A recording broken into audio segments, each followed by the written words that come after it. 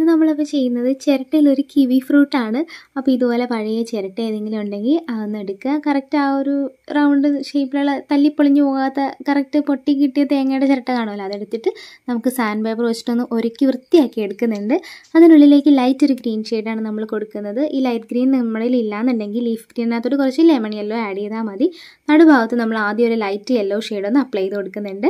അത് കഴിഞ്ഞിട്ട് sap green എടുത്തിട്ട് ഇതുപോലെ വരഞ്ഞ് വരഞ്ഞൊന്ന് വരയിട്ട് കൊടുക്കുന്നുണ്ട്. കംപ്ലീറ്റ് ആയിട്ട് ഒരു റൗണ്ട് ഫുള്ള് വരയിട്ട് കഴിയുമ്പോൾ നമുക്ക് അതിന്റെ ഉള്ളിൽ കൂടെ ലൈറ്റ് ഒരു ലെമൺ യെല്ലോ ഷെയ്ഡ് വെച്ചിട്ട് ഇങ്ങനെ ഒന്ന് വരഞ്ഞ് വരഞ്ഞ് കൊടുക്കണം. അതൊന്ന് ഇട്ട് കഴിഞ്ഞിട്ട് നമുക്ക് ഇതിനുള്ളിൽ സീഡാണ് വെച്ച് കൊടുക്കേണ്ടത്. നമ്മളിങ്ങനെ കുത്തി കുത്തി കൊടുത്താൽ മതി. കറുപ്പ് കുത്ത് സീഡ് പോലെ ഇങ്ങനെ ആക്കി കൊടുക്കുന്നുണ്ട്. അത് ചുറ്റിനും മുഴുവനും നമ്മൾ വെച്ച് കൊടുക്കുക. രണ്ട് സീഡാണ് കേട്ടോ ഇങ്ങനെ മേളിലും താഴെയും. അങ്ങനെയാണ് കിവിയുടെ സീഡ് വരുന്നത്. അത് വെച്ച് കൊടുക്കുക. സൈഡിൽ നമ്മളൊരു ലൈറ്റ് ഒരു ബ്രൗൺ ഷെയ്ഡോടെ കൊടുത്തിട്ട് പുറകിൽ നമ്മുടെ ചിരട്ടയുടെ പുറകിലും കൊടുക്കുക.